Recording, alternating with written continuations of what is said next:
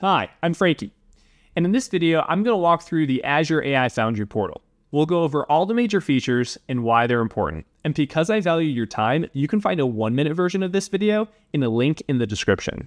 But if you want to get a little deeper and actually see a walkthrough of the portal itself, then this video is for you. Before we walk through the portal, let's answer one question. What is Azure AI Foundry? Azure AI Foundry is a unified platform for developing, deploying, and managing generative AI applications. Before Azure AI Foundry, you'd have to take a bunch of different tools and mash them all together in order to create a single AI app. And then all of those tools would have to be managed and juggled in order to maintain and continue to upgrade that app. But with Azure AI Foundry, you have all the tools you need in one place. Now let's dive into the portal. All right, let's get to the Azure AI Foundry portal by first going to ai.azure.com. Once we're in Azure AI Foundry, we can start by creating a project. I'll call it New Project 101. I can see here too, there will be a list of other resources that are going to be created. We want to customize some of these as well. So I'll hit Customize. There's always going to be a hub that gets created. So you'll have projects within hubs within Azure AI Foundry. A hub can have many projects, and a project will only be part of one hub.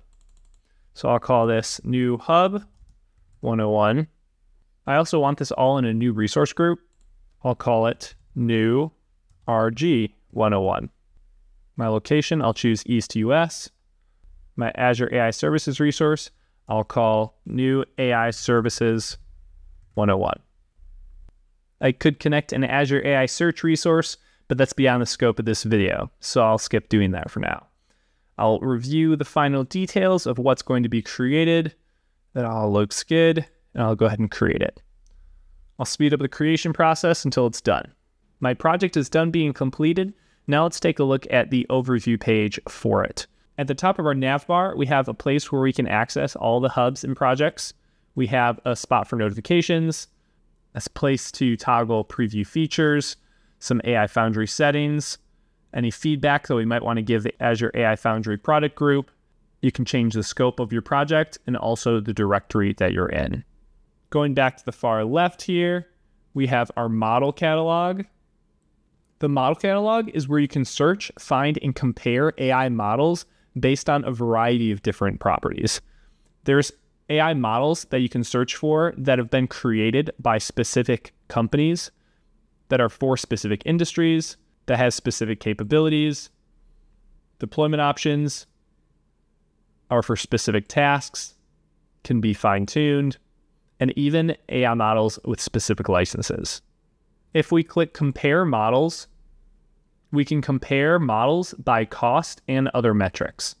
Once you've selected an AI model and deployed it, you can play with it with any of the playgrounds that are available. The chat playground is the most common, but there's a handful of other playgrounds as well.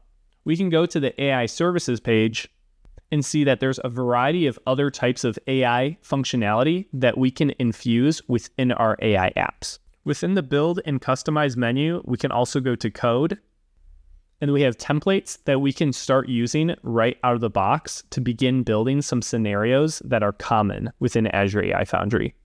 We can also go to the VS Code container section where we can create a compute in order to use VS Code within the Azure AI Foundry portal. This creates a virtual machine that we'll be able to remote into for VS Code. Going over to fine tuning, in this section, we could start to fine tune a model if we want to make the model act based on our specific requirements, we're using retrieval augmented generation isn't enough for our purposes. In the prompt flow section, we can create prompt flows based on a variety of different templates. In the assess and improve section, we can go to tracing, where after you've deployed an AI model, you can use the tracing and debugging features to follow along API calls to your model to track down where issues may arise and what you can do to improve it. The evaluation section allows us to have automated evaluations and manual evaluations that we can use to test how well our model is performing. And the safety and security section will help you create content filters and add additional security measures to protect your AI model from performing in a way that you don't want it to. Your My Assets section is where you'll find your models and endpoints that have been deployed. Right now, we don't have any deployed models. Your Data and Indexes section is where you'll add your data if you want to create indexes, if you want to have data sets for evaluations, or if you want to use data to fine tune a model. You'll also see your web apps that have been deployed using your AI models here. Now, so far, everything that we've gone over has been for your specific project, new project 101. And this is because we're in the project page. If you want to do more administrative tasks, you've got to come down to the management center. The management center can be found here, or you can go directly to the all hubs and projects section, which will also take you to the management center. When I select this, we'll see on the top of the Azure AI Foundry navbar that now we're in within the management center. Within the management center, this is where we'll see now our different hubs and projects and the resources within them. In this overview page of all hubs and projects, I can see my hub and my project. And if I had other hubs and projects, I'd see them here as well. I can go over to the management center at the top and I can select quota. This quota section will allow you to see what models are available to your subscription in specific regions, along with the different types of compute that are also available to you. If you see that there are certain computes that are not available to you, you'll need to request access.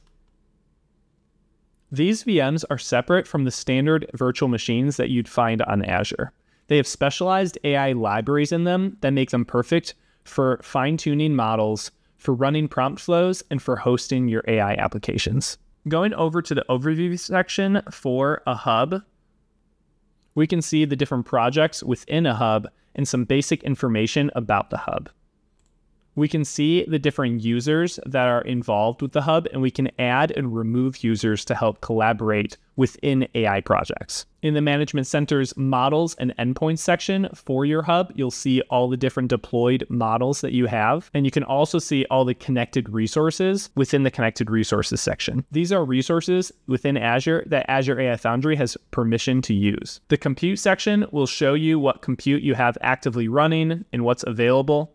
And then you have a project specific section, which shows you some of the same information that a hub does, only more specific to a project itself. When you want to go back to a project, you can just go to the Go Back to Project. Something else to note when navigating the Azure AI Foundry portal, if you go to the homepage by selecting Azure AI Foundry, you'll find this section here on Azure OpenAI.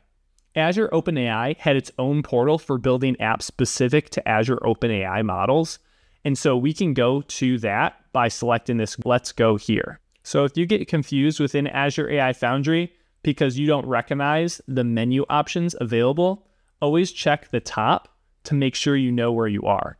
Because here we see we're in the Azure OpenAI Service portal now. So if you want to go back to the standard Azure AI Foundry section where you'll have hubs, portals, and everything else we've discussed, just go to Azure AI Foundry and you can just jump into a project.